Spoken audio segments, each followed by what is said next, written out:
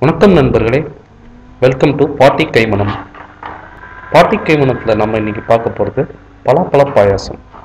பலாப்பழ பாயாசம் நம்ம எப்படி செய்யலாம் அப்படிங்கிறத பார்க்கலாம். அதுக்கு தேவையான பொருட்கள் என்னங்கிறத நம்ம இப்போ பார்த்துடலாம். பலாப்பழம் பலாப்பழத்தை துண்டு துண்டாக வெட்டி வச்சிருக்கிறேன். தேங்காய் பால் தேங்காய் பாலை மூணு தடவை எடுத்து வச்சிருக்கிறேன். ஒன்றாம் பால் ரெண்டாம் பால் மூணாம் பால்னு மூணு தடவை எடுத்து வச்சிருக்கிறேன். வெல்லம் முந்திரி பருப்பு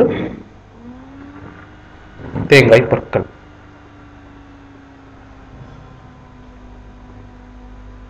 நெய். ஸோ நெய்யும் ரொம்ப முக்கியமானது. அதுவும் நம்ம எடுத்துக்கிட்டோம்.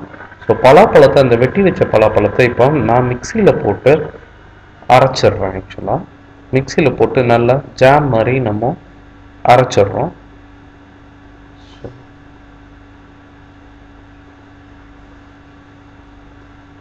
ஸோ பலாப்பழத்தை அரைச்சி அது ரெடி ஆயிடுச்சு அதை தனியாக ஒரு பிளேட்டில் எடுத்து வச்சுக்கலாம். இப்போ வெள்ளத்தை வெள்ளை பாகு எடுக்கிறதுக்கு தனியாக ஒரு கப் பலாப்பழத்துக்கு அரை கப் வெல்லம் நான் எடுத்துக்கிறேன். ஸோ அந்த ரேஷியோவில் நீங்கள் வெள்ளத்தை பாகு எடுத்து வச்சுக்கோங்க தனியாக ஸோ அடுத்து நெய்.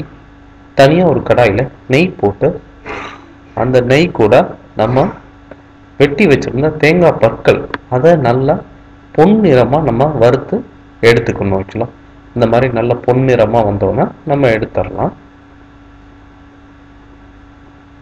ஸோ இந்த மாதிரி பொன்னிறமாக இப்போ வந்தோன்னா நம்ம தேங்காய் பற்களை எடுத்துட்டோம்.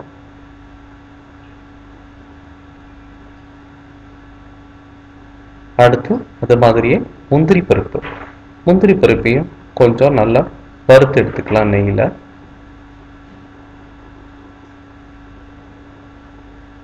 ஸோ முந்திரி பருப்பை இப்போ வறுத்து எடுத்துக்கிட்டோம். அடுத்து நம்ம அரைச்சி வச்சுருந்த பலாப்பழத்தை நெய்யில் நம்ம இப்போ வேக வைக்க போகிறோம் ஸோ ரெண்டு ஸ்பூன் நெய் ஊற்றி பலாப்பழத்தை அந்த ஜாமை நம்ம இப்போ வதக்குறோம். இது நல்லா கொஞ்சம் சுருளாக வதக்கிக்கணும் ஆக்சுவலாக இந்த மாதிரி அந்த ராஸ்மல் போகிற அளவுக்கு நம்ம நல்லா வதக்கிக்கிட்டோம்னா நல்லாயிருக்கும். ஸோ அந்த பலாப்பழத்தோட ராஸ்மல் கொஞ்சம் போயிடும்.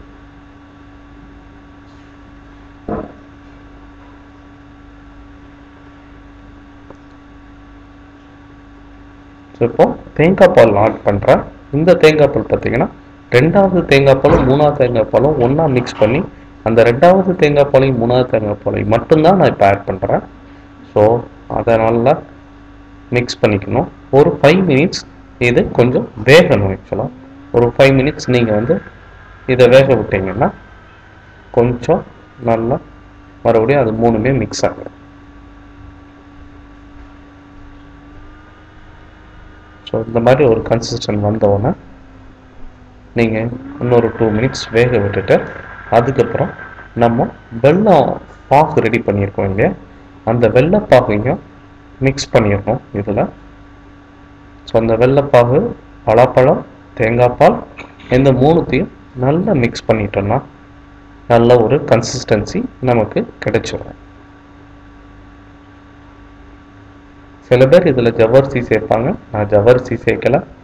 நான் பலாப்பழம் தேங்காய் பால் வெள்ளைப்பாகு மூணு மட்டும் தான் சேர்த்து இந்த பாயசம் பண்ணுறேன் ஸோ இந்த மாதிரி நல்லா கொஞ்சம் கட்டி பிடிக்காம அதை நல்லா கிளறி விட்டுக்கிட்டே நம்ம இருந்தோம்னா அது ஒரு கன்சிஸ்டன்சி வந்துடும் நமக்கு.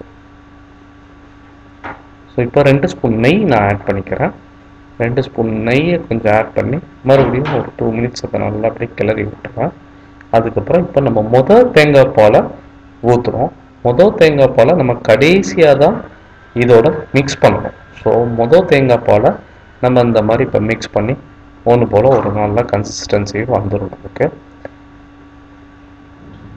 இந்த முதல் தேங்காய் பால் விட்டு ஒரு ஃபைவ் மினிட்ஸில் நம்ம அடுப்பு ஆஃப் பண்ணிடணும். ஸோ மொதல் தேங்காய் பாலும் இப்போ நம்ம விட்டோம். இன்னொரு ஃபைவ் மினிட்ஸில் நம்ம அடுப்பு ஆஃப் பண்ணிடலாம். அதுக்கு முந்தி நம்ம இப்போ வறுத்து வைத்த ஏலக்காய் பொடி கொஞ்சம் சேர்த்துக்கலாம். சில பேர் இலக்கப்பொடி பொடி இல்லாதவங்க சுக்கு பொடியும் கொஞ்சம் எக்ஸ்ட்ராவாக ஆட் பண்ணிக்கலாம். முந்திரி பருப்பு வறுத்து வச்சிருந்த முந்திரி பருப்பும் தேங்காவையும் ஆட் பண்ணி ஒரு கிளறு பண்ணலாம். இப்போ நமக்கு சுவையான பலாப்பழ பாயாசம் ரெடி ஆயிடுச்சு. ஸோ பலாப்பழ பாயாசம் ரெடி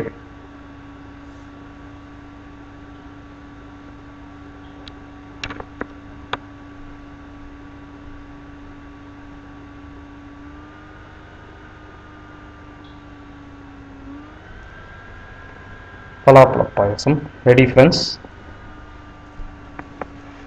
இந்த வீடியோ உங்களுக்கு பிடிச்சிருந்தா லைக் பண்ணுங்க ஷேர் பண்ணுங்க சப்ஸ்கிரைப் பண்ணுங்க. கீழே இருக்கிற பெல் பட்டனை மறக்காம கிளிக் பண்ணுங்க. தேங்க்யூ நம்ம அடுத்த வீடியோவில் பார்க்கலாம்.